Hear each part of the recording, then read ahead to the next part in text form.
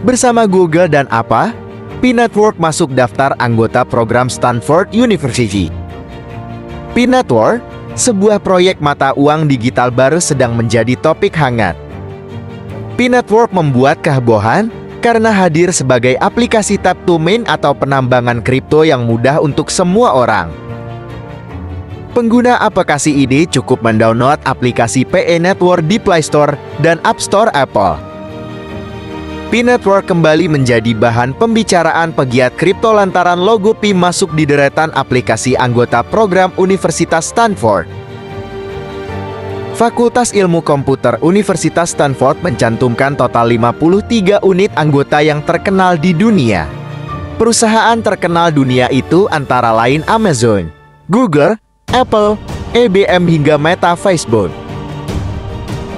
Salah satunya anda bisa memeriksanya di situs resmi Stanford University Pursuit of Computerization.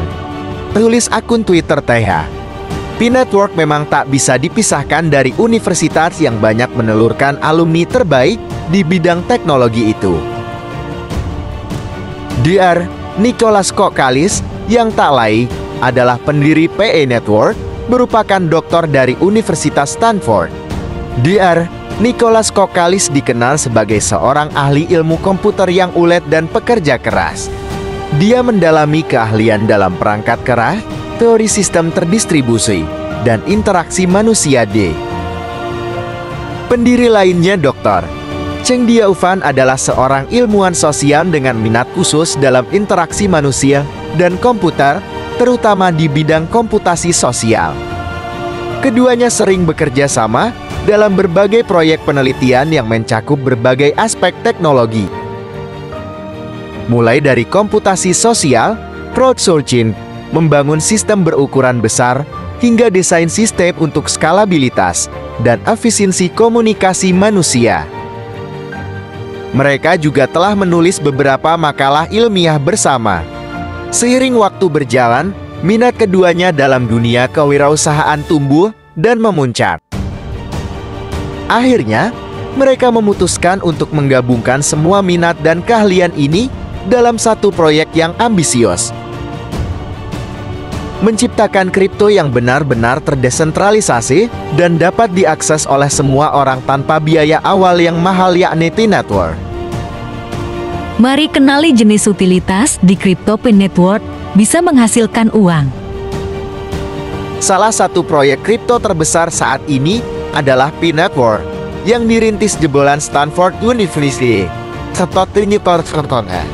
Nah, konsep utilitas dalam ekosistem P-Network merupakan upaya memanfaatkan koin Pi dalam aktivitas sehari-hari. Baik itu dalam bentuk aplikasi, transaksi antar pengguna, situs website, atau toko online.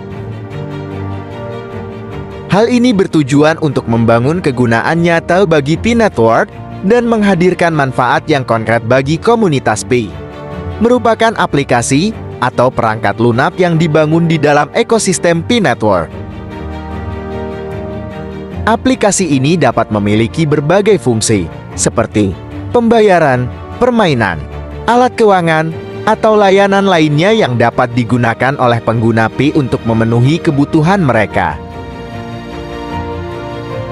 Contoh mungkin termasuk dompet Crypto Pi Network, aplikasi permainan yang memanfaatkan Pi, atau alat keuangan yang memungkinkan konversi Pi ke mata uang fiat. 2. Peer-to-peer Ini tentang kemampuan pengguna Pi Network untuk melakukan transaksi langsung satu sama lain peer-to-peer atau P2P. Aplikasi bursa koin Pi Network heboh di Twitter, pionir bersemangat. Crypto PE Network kembali membuat geger anggotanya yang aktif di situs Metroblock Twitter atau 10 hari ini, Sabtu 16 September 2023. Sebuah tangkapan layar aplikasi bursa Crypto PE Network beredar luas hingga membuat pionir bersemangat. Munculnya bursa Picoin yang diakses di peramban khusus P browser telah memicu kegembiraan di kalangan pionir terutama setelah berita tentang roadmap Open Mainnet yang disuka bakal diumumkan pada pertengahan Oktober. Menurut informasi yang beredar di komunitas Pioneer, aplikasi tersebut bernama Pi Consensus Exchange, sebuah platform yang beroperasi sebagai pertukaran khusus untuk Pi telah diluncurkan di dalam Pi browser.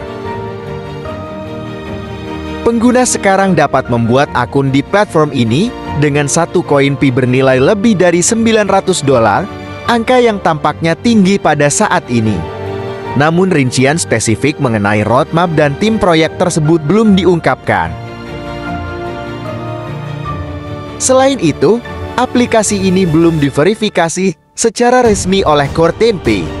Sebagai informasi kehadiran dalam P browser tidak menjamin keandalan aplikasi.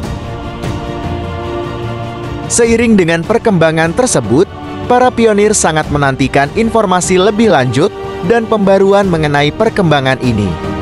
Jika aplikasi terbaru itu benar dan segera diverifikasi oleh Cortain, maka tentu akan mengobati kegundahan para pionir yang telah menambang Pay.